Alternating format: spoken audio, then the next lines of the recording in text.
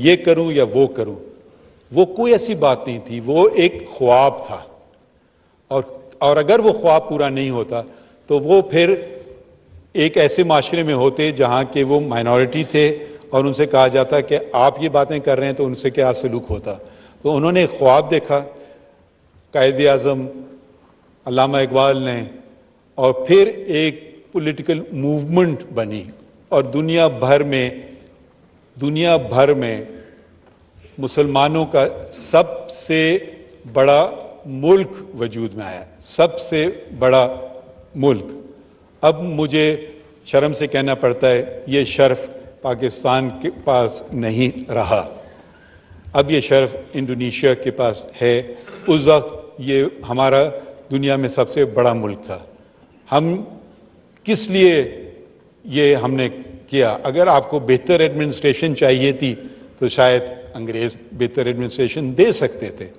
मगर हम अपनी गलतियों से, अपनी नाकामियों से सीख करके हम आगे बढ़ना चाहते थे कि जो कुछ है, हमारा है। तो ये कॉन्स्टिट्यूंट असेंबली आई वजूद में उसके सदर कहलाते थे स्पीकर नहीं कहलाते थे, उनका नाम था मौलवी तमीज़ुद्दीन। उनको बरतरफ किया गया। उनके, उन्होंने चैलेंज किया और उनकी जगह एक ब्यूरोक्रेट जो मेरे ख्याल में रेलवे में मुलाजिम होता था एक वक्त में, गुलाम मोहम्मद, वो गवर्नर जनरल था। उन्होंने उनको बरतरफ किया और उन्होंने कैबिनेट ऑफ़ मिनिस्टर्स बनाई। मौलवी तमीज़ुद्दीन मेरे वालिद उस केस में भी मुंसलिक थे। उन्होंने चैलेंज किया। चीफ कोर्ट ऑफ़ सिंध उस ज़माने में सिंध हाई कोर्ट नहीं था, चीफ कोर्ट था।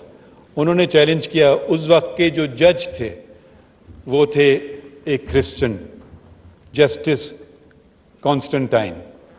उन्होंने और उनके तीन साथियों ने, जस्टिस विलानी जस्टिस बच्चल और जस्टिस मोहम्मद बख्श ने बहाल किया और ये कहा कि ये इकदाम गलत है और वो जो मिनिस्टर्स थे, उनको, उन्होंने, उनके खिलाफ एक एक रिट ऑफ़ मैंडमस जारी की, दूसरी रिट ऑफ़ कोवरॉन्टोद की कि आपके पास कोई इख्तियार नहीं है मिनिस्टर होने का।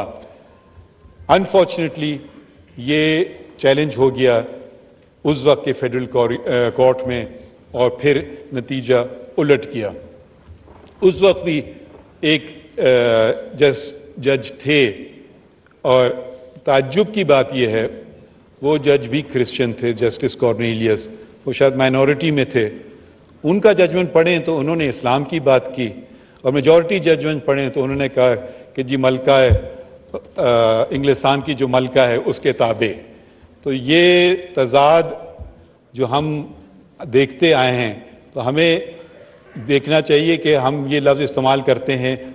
माइनॉरिटीज़ का ये मुझे पसंद नहीं है। वो बराबर के शहरी हैं और उनका बहुत बड़ा हिस्सा है। एक और शख्स थे जिनका मुझे बहुत फ़ख्र है, जिनका ताल्लुक मेरे सूबे से था, दोराब पटेल। वो एक पारसी पारसी साहब थे। जब जबरन ओथ लेने को कहा गया जज साहिबान को तो उन्होंने इनकार कर दिया।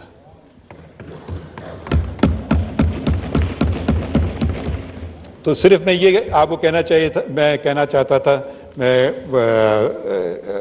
फैसलों में हम लोग लिखते हैं, तकरीरें नहीं करते हैं, मगर क्योंकि आज का दिन ऐसा है कि अगर वो, अगर आप सोचें, अपने आप को वापस ले जाएँ वक्त में, कि भाई हम तस्वीरें देखते हैं कि जी टाइम में आप पीछे जा रहे हैं, और अगर आप उस वक्त खड़े हो जाएँ कि जो मौलवी तमीज़ुद्दीन के साथ अगर आप खड़े हो जाएँ, और उस वक्त के जजेस ने जो बहाल किए उस कॉन्स्टिट्यूंट असेंबली को तो क्या पाकिस्तान दो टुकड़ों में होता? ये सिर्फ़ मैं सवाल, एक कानूनदान, एक तालब इल्म की तरफ़ आप पे छोड़ रहा हूँ। और ऐसे सवाल, ये ये बहुत अच्छी बात है कि प्राइम मिनिस्टर ने ये एक टेंथ अप्रैल को दस्तूर का दिन करार दिया। दस को और थोड़ा सा ताल्लुक मेरा इस ऐवान से ये भी बनता है कि मेरी चची उसकी मेंबर थी शायद वो अपोजिशन में थी। तो वो और उस जब ये आइन पेश किया जा रहा है